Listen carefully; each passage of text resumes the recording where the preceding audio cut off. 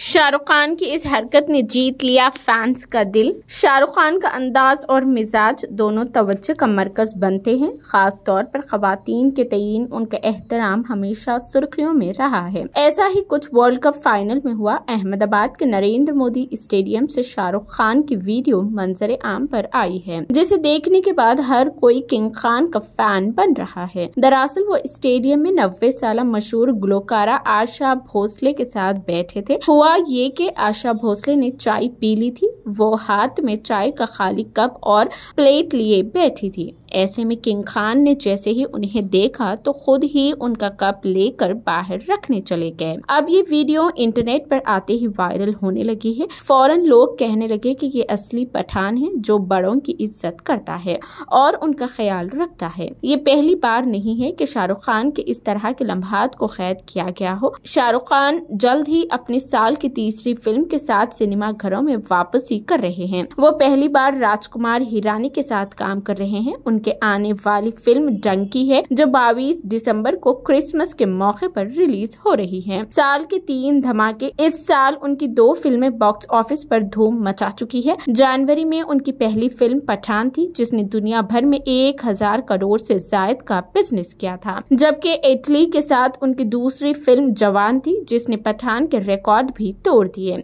इन फिल्मों के अलावा सलमान खान की कि टाइगर थ्री में भी उनका कैमियो देखा गया